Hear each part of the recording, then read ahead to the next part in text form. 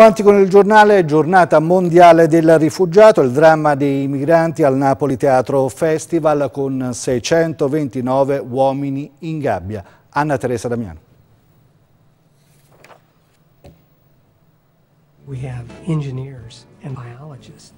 Dovrebbe essere pronto il servizio.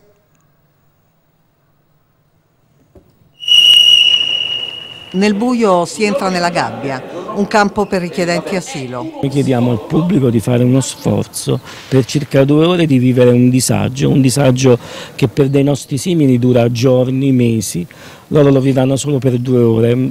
Non so se li cambierà, ma in qualche modo spero li faccia pensare. 629 nasce dalla collaborazione tra Nuovo Teatro Sanità e autori spagnoli, greci, italiani. Il 10 giugno 2018 fu vietato l'ingresso nei nostri porti alla nave Aquarius, a bordo 629 persone, lo stesso numero dei parlamentari in quel momento. Che almeno si salvi il mio nome!